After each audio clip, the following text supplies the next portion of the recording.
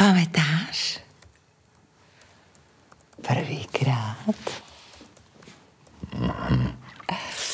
Jasné. Taká Češka. Um, Klára. Kláro. E, V um, letnom tábore. Náš prvýkrát. Ja, no to bolo, to bolo nezabudnutelné. Kde? Čo? Prvý sex. Kde sme ho mali? Bolo to úžasné.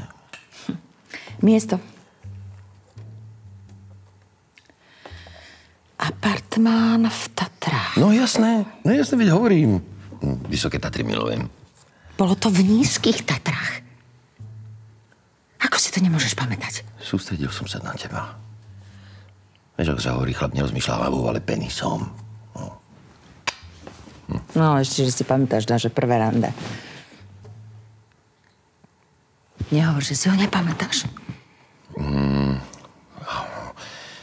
Vy- Vináreň uh, u Bakchusa?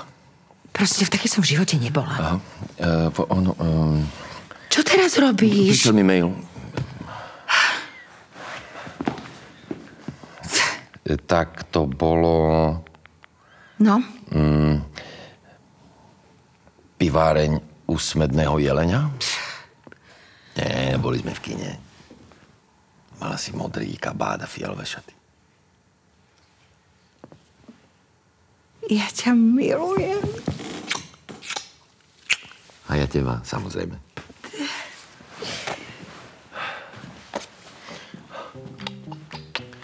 Vedel som, že sa mi to niekedy zíde. Maco, čo? Nič, nič, Mici.